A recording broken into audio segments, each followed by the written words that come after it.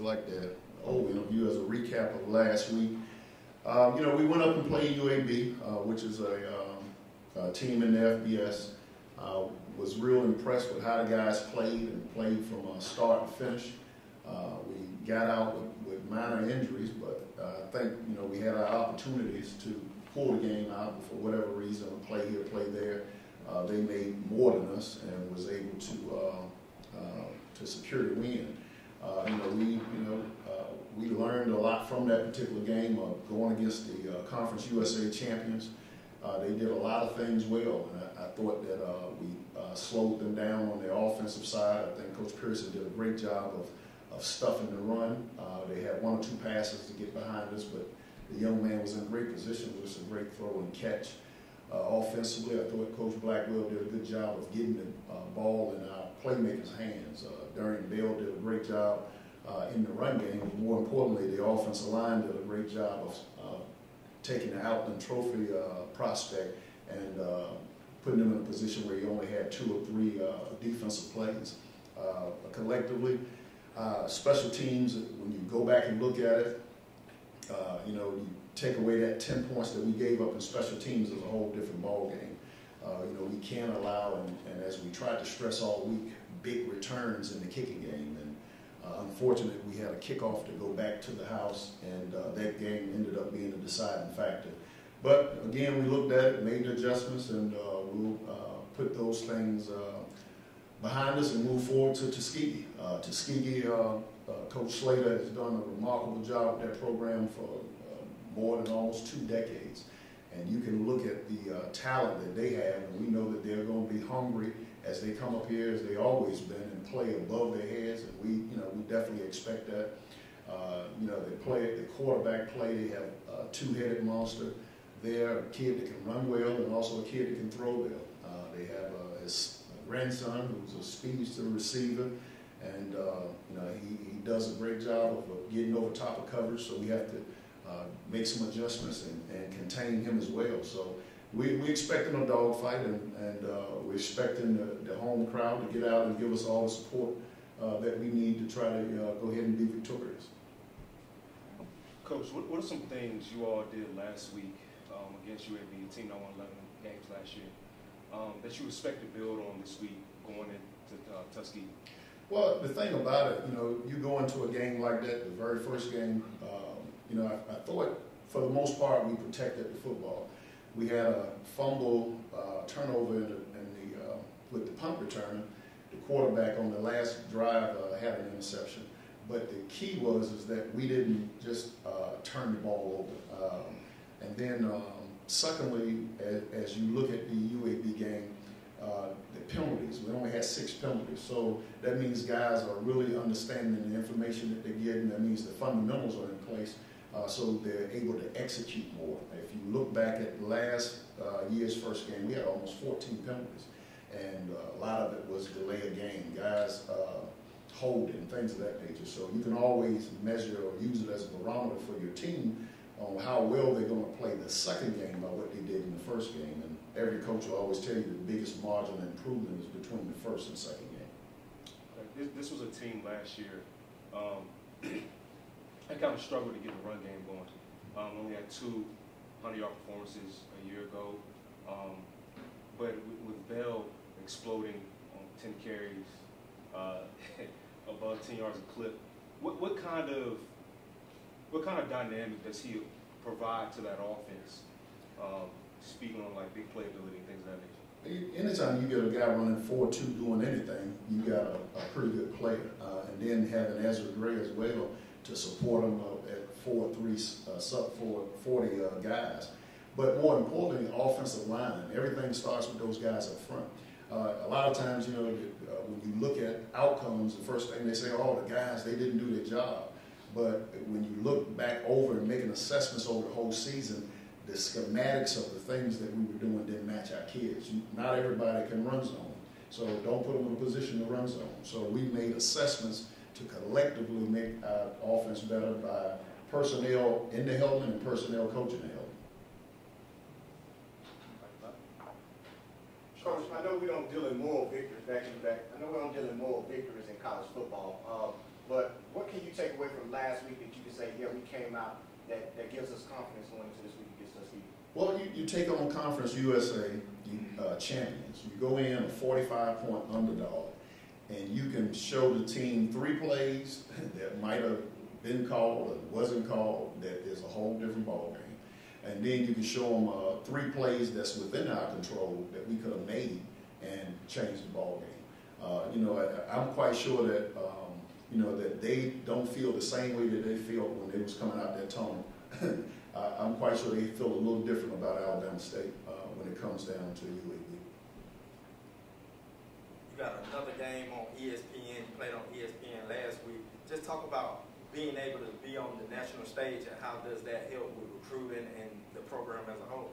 Anytime you can get in that amount of households uh, and, and to add visibility to your program, to be able to, after the game, you had uh, student athletes from all around the country. Oh, we saw you on uh, on ESPN, coach. We want to visit. We want to come be a part of what uh, what you guys are doing. So, I mean, you can't. I mean, that's priceless to be able to get into millions of households, and uh, especially in this region that we in. You know, a lot of times you gotta be coming to Montgomery to find Alabama State, but now when you're out and you can reach as far as California and overseas, you can't pay for that. Coach, to piggyback on that, we know HBCU football doesn't typically get the love that it probably deserves, or just HBCU sports as a whole. But with this game being actually televised and the history that goes behind it, what does this what does this game mean for the representation of HBCU football and sports nationally? Well, one of the things is that, you know, uh, for years we always at HBCUs have to prove uh, our existence and more importantly, pr- uh, prove the fact that we can coach and that we can play football. And, I think a lot of times when you have a first round draft choice like Tytus Howard, he didn't come here and just wake, go to sleep and wake up and end up in the first round. He had to be nurtured, so that meant the nutrition was in the right place. That meant the resources was in the right place. That meant the coaching was in the right place. So a lot of those things uh, get overlooked when you look at, at the HBCUs.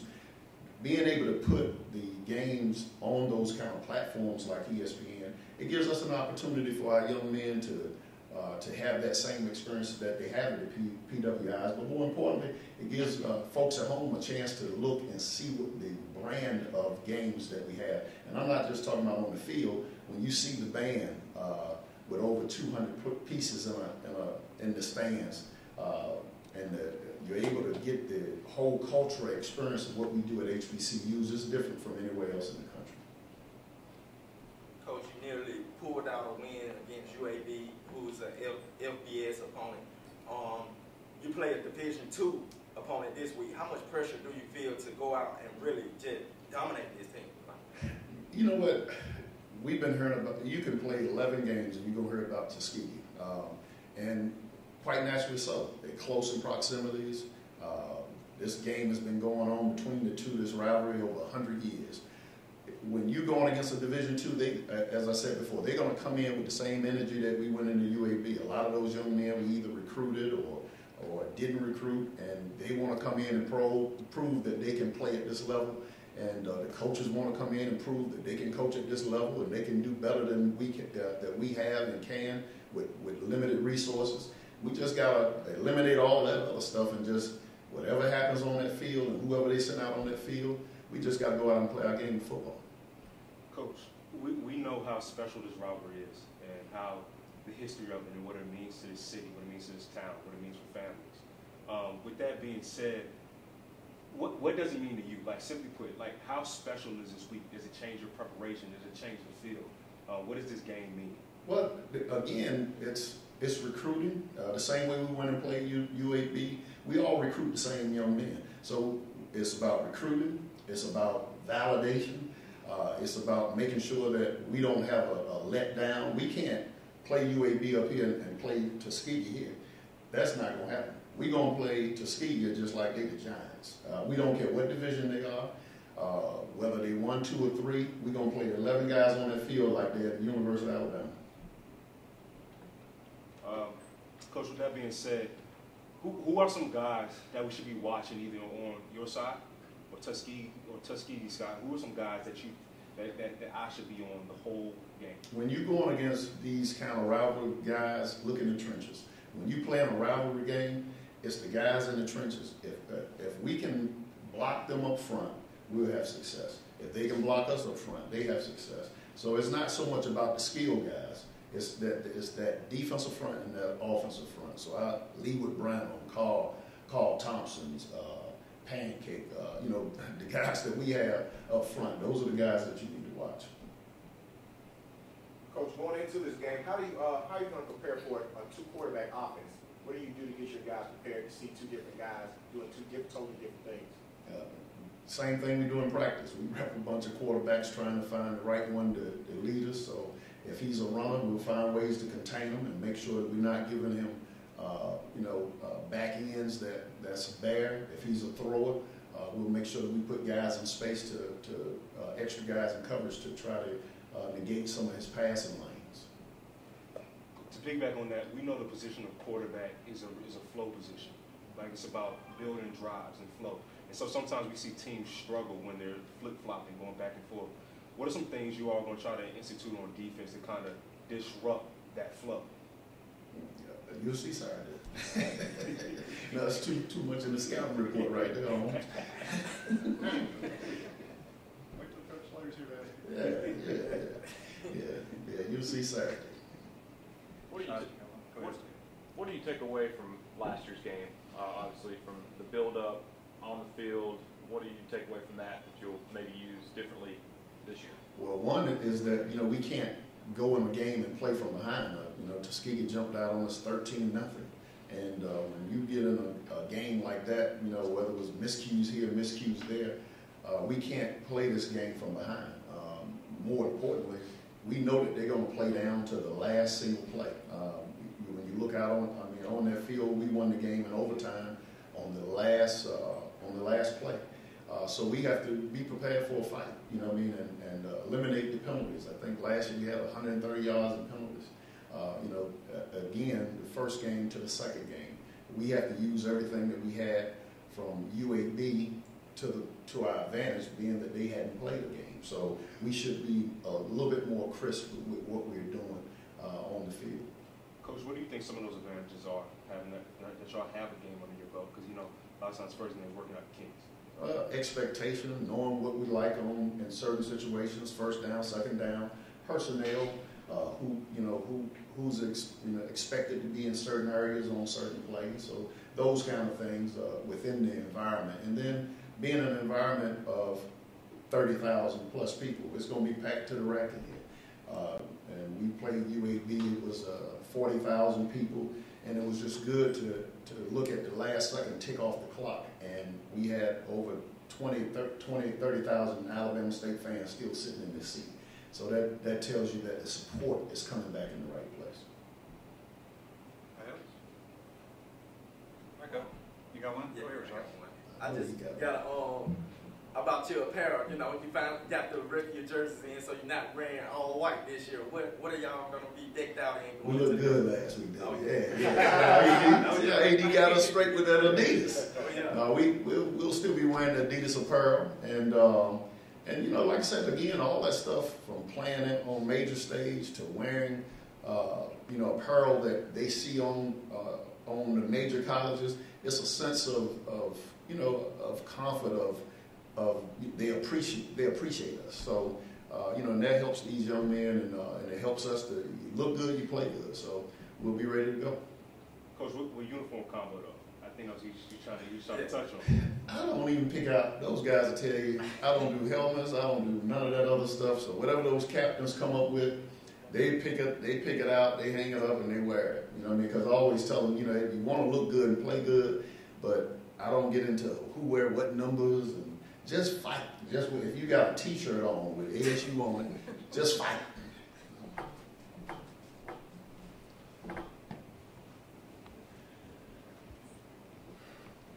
Well, we, uh, we're excited about being here, uh, excited about the game coming up. And, uh, we definitely have a, a great opponent. And, uh, hopefully we can, uh, give them a good game.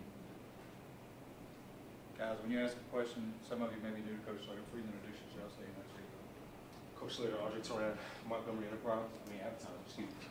Um, that being said, uh, I was just talking to Coach Eley about the importance of this game, um, what it means, not just on the gridiron, but beyond, as far as bringing community together. And we know that this game stretches the family lineages and things of that nature. Regardless of if it's on Labor Day or Turkey Day, what, what does this game mean to you and your staff on the field and beyond? Or, and your team, excuse me. Well, it's, it's a big game. Um, honestly, as a, as a staff, we just try to take it one game at a time. And uh, of course, this is the most important game for us right now because it's our, it is our first game. So uh, I think it means a lot to our players to play well. Uh, I thought we played well last year, and uh, of course, obviously uh, Alabama State played better than we did, so uh, it's a big game. Coach, ASU already have one game under their belts, so, and you guys just stepping on the field. I know that first game, that's a game that you guys be able to work and get the kinks out. Just talk about being able, well, this is being your first game and they already have a game under their belt. Yeah, I mean, I definitely think that's an advantage to uh, to have a game under your belt. I'm, I'm a firm believer that uh, you get better, you improve more after your first game than you'll improve the, the rest of the year. So they have that uh, that game where they can go back and say, okay, we should be doing it like this. And then some guys, you know, especially the new guys, don't believe in what you're doing a lot of times. And then you get to show them where if you do it like I teach it, then it's a better way and all that stuff. So I think they definitely have an advantage in in that area, uh, which makes it makes it tougher for us. We got we got to try to be the best we can be, but we know we're gonna make mistakes, and uh, hopefully we can overcome. Coach, do you think, are there any advantages for you all, considering being fresh and healthy, not having played a game? There's two sides to it. Um, honestly, I don't I don't see how we have an advantage. Uh, and I guess I don't want to even go there because uh, we can't look at it that way. We just we just got to get ready to play the best we can play. That being said, what are some things or areas of emphasis that you all want to focus on coming off of last year's game? Uh, maybe some areas that uh, you feel like y'all executed well enough in that you would like to see your team excel in. Um, we had we had one of those years last year. I, I think the first game contributed to it, but uh, last year was last year. He, he has a different coaching staff. Uh, it's a different team, and they are a very good team. I know that. But uh, we have our work cut out for us, uh, just to keep from getting embarrassed. Coach, have you, have you seen the progression that you want to see from your team from the day they set foot on for fall camp to, to this week? Have you kind of seen a progression? Well, we've progressed. You don't, I, I guess you don't ever progress like the coach wants you to progress. But uh, I think we've gotten better. We had one scrimmage, the first scrimmage, and then there's a big difference between the first scrimmage and the second scrimmage. So uh, I guess I'm pleased in, in that respect, but I don't think we, at this point, we're not, uh, we're not good enough to, to compete like we're gonna need to compete out there Saturday. With Alabama State being a Division One school and Tuskegee being a Division Two school, just talk about how much playing a, a, a division helps you progress uh, throughout the season. Well, I guess people need to understand what you mean when you say Division One and Division Two. Uh, the, the thing that makes us different is Alabama State has 63 scholarships. We have 36 scholarships. That's the only difference. Uh, we get good players, but we, we're not able to get as many. And that's the difference. The difference, I thought the difference in the game last year was uh, depth. Uh, they, they just have more depth than we do because they have more scholarships than we do. Coach, who's some guys um, on your side to start Um, and then on ASU side, that, you know, we should keep our eyes on or, or, be ready to watch as far as matchups and things like that. Well, on the ASU side, I mean, they have a number three that can run real fast. And, uh, That's something you can't teach, but if you can't catch it, you can't hit it either. So, uh, that's a big concern for us. Uh, on our side, I'd rather wait and see. How important is it for your fans to come down and, and fill the house as well as, you know, you know ASU fans are gonna be in here live and direct, but how big is it for Tuskegee fans to come and support the team as well? Well, I think the players on both sides respond to fans. Uh, the more fans you got, the harder they're gonna play. So we're encouraging all of our Tuskegee fans to come on out and support us, as well as Alabama State fans come on out and support, because uh, you get a, a better product out of your players. Coach, Coach, I was gonna say, you know, we know you got there's a two quarterback system going on, um, and with you know Darren's coming off of the MVP year and a great stretch in the year um, after the, the injury to your, your initial starter. What kind of expectations do you have for, for him? Um, and then how, how is that position going to kind of work out for you all?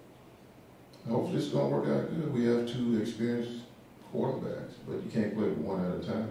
So uh, we'll play one of them, and then hopefully we'll play the other ones.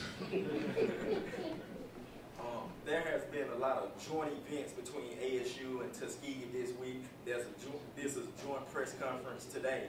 Just talk about how big is it for HBCUs to come together as a family in these big stage games and things of that nature. Yeah, this I think it's important, um, and it's great to see the camaraderie. Even though you know they go after each other all the time. Even back when I was in high school, we had we had our ag teacher was an Alabama State guy. I mean, our ag teacher was a, a Tuskegee guy, and our history teacher was an Alabama State person. And uh, boy, they used to go at it all the time. I didn't even understand, but uh, I've learned that uh, it was Alabama State Tuskegee. So, but it's a it's a wonderful rivalry, and uh, it's a loving rivalry because I have folks in my family, you know, Alabama State people, and then I have Tuskegee people, but we still love each other. And I think that's the same thing here. We we are all in one common goal, and that is to uh, read young, well, raise young men and women to go out and be successful in this world. And uh, we have a great opportunity to do that. That's why I love being at Tuskegee so much. One more question, Coach. Tuskegee doesn't get to play on ESPN too often. But this game is going to be on ESPN this week. Just talk about how that's going to help with recruiting and, and helps with HBCUs, like recruiting as a whole. Well, I, I disagree with you. We play on ESPN a lot. We play on it two or three times a year. So uh, that's nothing that we're not used to doing. All right. You got one second? Coach, I just wondered, I know you like to play some tennis from time to time. Do you have much time during the week of Labor Day Classic to fit in any games, any matches? I hadn't had as much this year. Uh, I guess simply because the of the athletic director's area, boy, it's taking away my time. And uh, you can tell by looking at my stomach, I need to be running a little